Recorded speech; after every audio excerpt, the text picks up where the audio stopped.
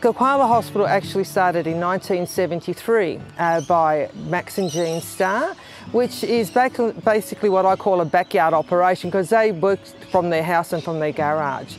Now the concern there was of course the welfare of the koala. Back then it was chlamydia as it is now.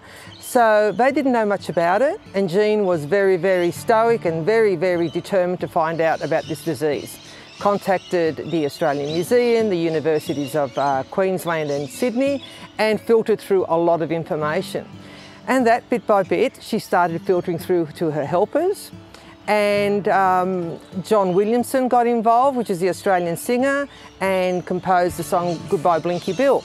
So with that song, we managed to build the ICU that you can see behind us.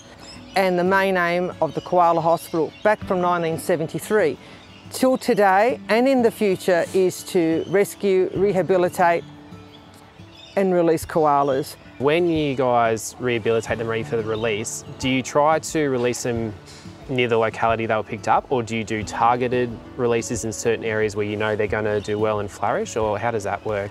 The ones here in port need to go back to the actual street where they were, where they actually come from because it's all got to do with home ranges. Koalas, which like from Breeza, Gunnedah, need to go back to those places. If people say own a block of land and they're interested in caring for their local koala populations, yep. is it worth them doing a bit of research into what particular feed species are in their local area and opting to plant those over say your more traditional ones like oh, mahogany and yeah definitely yeah. i mean anybody can actually ring up the koala hospital or even go on their website and have a look. And there is all the listing of trees that grow in specific areas. Yeah, okay. And if you come to the hospital now or certain times of year, we've got a 25,000 tree giveaway.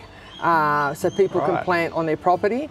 And we do get a lot of people who've got a lot of property come out and probably even grab 40, 50, 60 yeah. uh, trees of different species and they go out and plant them. Do you be able to explain what PAP is and why it's important for developing koalas? Yeah, okay, PAP which is, is a eucalyptus leaf in a different form. Normally, koalas have pellet, pelleted uh, feces, and they about 200 or so a day. But this becomes like a stucco, like really, like a runny Play-Doh, okay? So when that happens, the little Joey will start popping its head out of the pouch and go to the cloaca and start eating this runny, mucky stucco of poo. That's basically what it is. So it takes about 10 days of milk and pap, milk and pap to start coating the digestive system.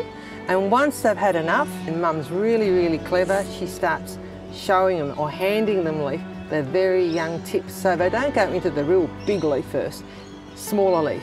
So basically when they're on mum's back, which is, and they're about eight months, they are fully on leaf. Yeah. yeah. So yeah. that's how they do that.